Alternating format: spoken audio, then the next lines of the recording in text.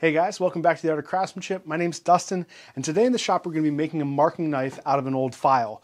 Really simple project, you don't have to do any heat treating, all you have to have is an old rusty file and something to grind with. And we just got finished making the kukri, and this knife definitely pushed me to my limits as a knife maker with all the multiple bevels and the interior curve, handle, everything. The complexity of this knife was definitely, you know, something that took me a while to do, but it'd be nice to follow that video up with this video, which is going to be a really simple marking knife, something that anybody can do. Um, we came up with a couple different designs that we like because I'll actually be making two knives today, one for myself and one for Devin. So what we like is a little bit different. Our designs are going to be a little bit different. And at the end of the video, you guys can tell us which ones you like the best. These are both one inch mill files from Nicholson. Uh, these have not been annealed. They're straight hard files. Uh, these will work really well. I'm going to take them over to the wire wheel and clean off all the rust first.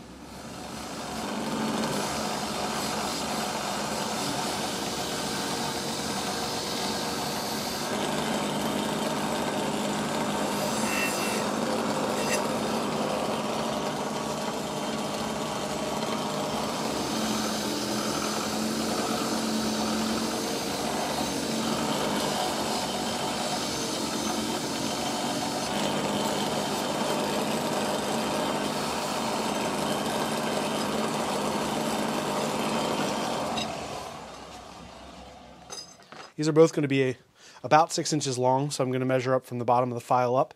And I'm going to trim off part of the tang on the file as well, but not all of it, because I actually want to leave some room to be able to put a lanyard hole in that space.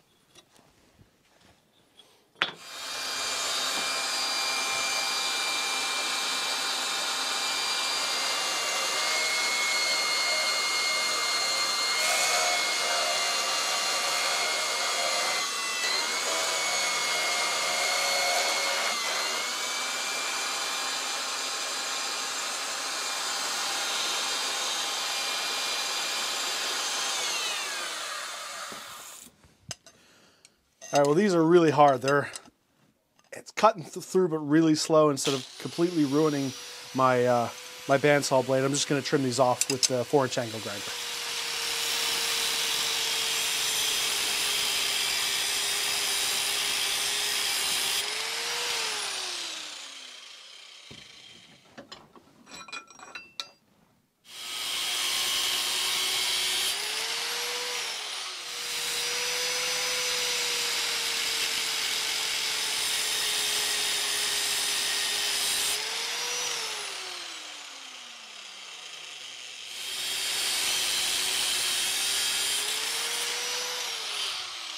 I'm setting the angle for the top point of my marking knife and I've seen anywhere from 50 to 75 degrees. I kind of like the drawing that I did here and I so I measured that and so I'm setting my angle to 65 degrees.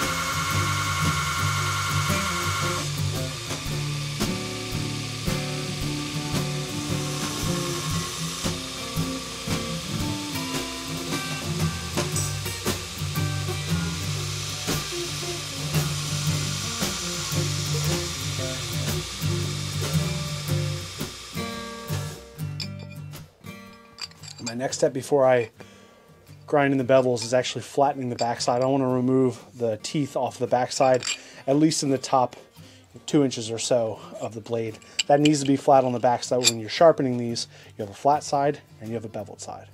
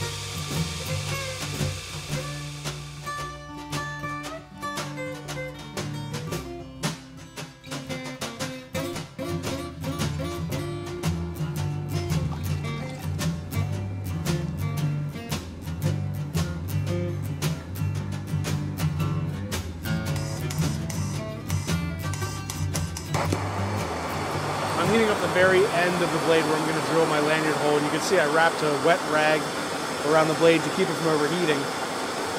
But I'm focusing my heat on the very end, so it shouldn't be a problem. And I can see it's almost already to that gray color that I want to soften that steel.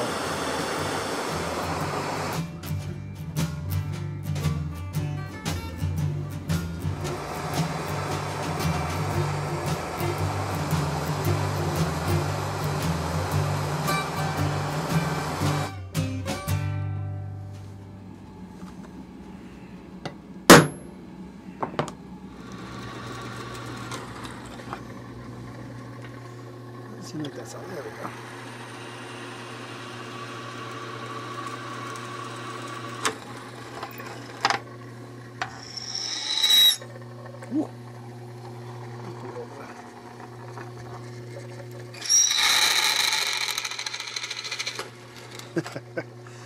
It wasn't too hard. It just sounded like a crazy person.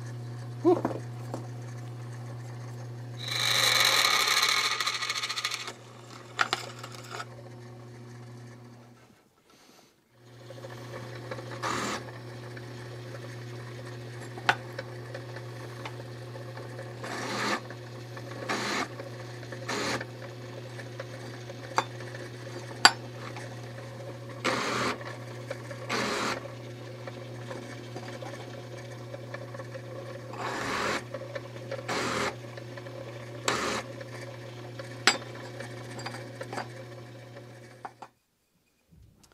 I'm going to use my angle finder to find 25 degrees, which is about the angle that I'm going for for my actual bevels. And I can adjust my tool rest and my platen to get that angle. That way I can actually keep my blade completely flat on the tool rest and move it up to the platen to get a perfectly flat bevel.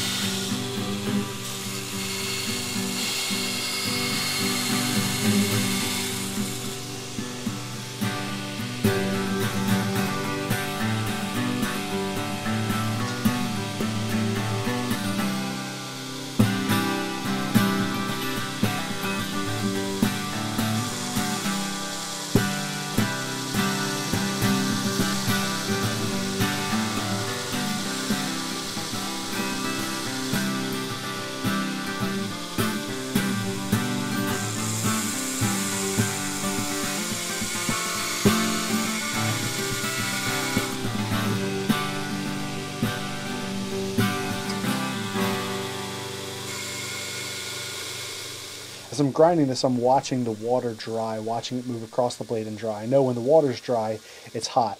So I kind of keep pressure on the back of the blade, work toward the tip. When that tip is dry, I don't put any more pressure more than another second before I dip it. Because if I do, if I overheat that tip, then I lose the hardness of the blade.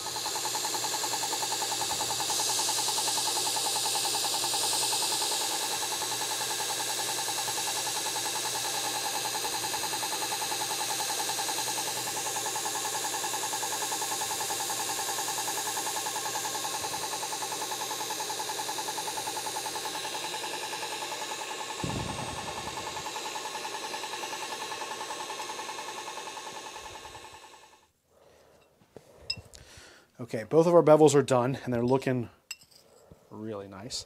Uh, if you are happy with this the way it is, you could be done with this, hand sharpen it up, and you're in business. But we want to actually add a little bit more kind of character to these, so we're going to taper uh, both of them down from the bevel down to the end a little bit to give it a kind of a nice taper. And then on Devin's, I'm going to add in kind of some uh, some curves on both sides, kind of where your thumbs will go if you're holding onto it. So we'll do that now, and then uh, we're almost there.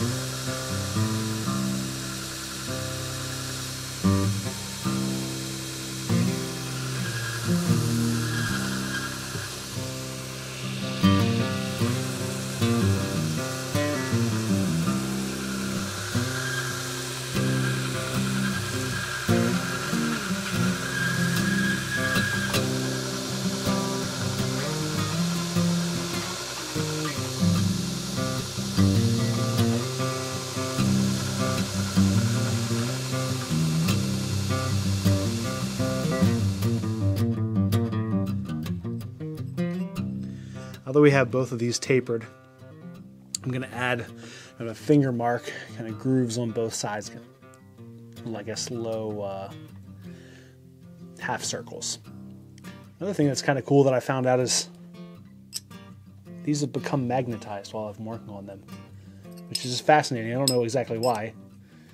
Any scientists out there, you can drop a comment down below, let us know.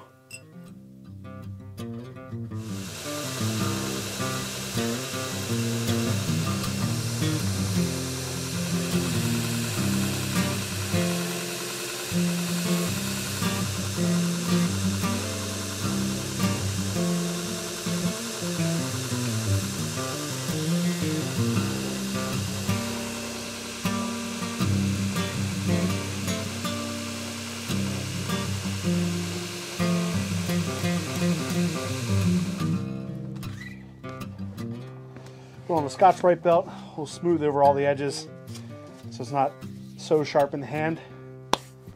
We're almost there.